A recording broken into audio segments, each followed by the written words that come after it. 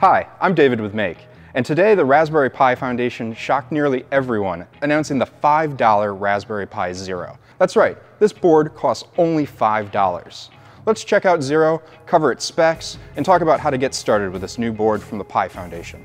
The first thing you'll notice about Zero is that it's much smaller than any of the previous Raspberry Pi boards. It's 30 millimeters by 65 millimeters, and it's only 6 millimeters tall. Here's how they did it. Go under the Ethernet port and the 3.5mm TRRS connector. The 40 pin headers for GPIO are unpopulated, but a quick soldering session with a 40 by 2 header will solve that. The CSI and DSI ribbon connectors used by the official Pi camera and display are also absent from the new design.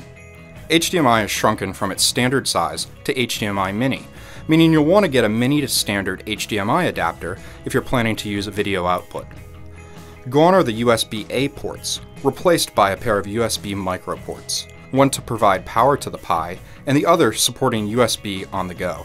These hardware changes may make the Zero seem pretty Spartan, but it's still got plenty of power.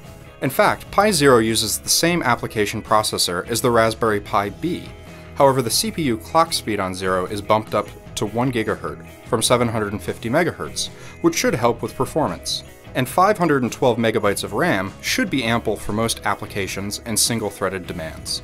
The Pi Foundation estimates the Zero is about 40 to 60% faster than the original Pi, though it does lack the multi-core processing found in Raspberry Pi 2, released earlier this year. Now that there's a $5 Pi, how do you think it's going to affect the single board computer market? Let us know in the comments below, and be sure to come back on Tuesday when we're going to do something a little bit different. Caleb's going to take us on a tour of the incredible City Museum in St. Louis. Thanks for watching, and we'll see you then.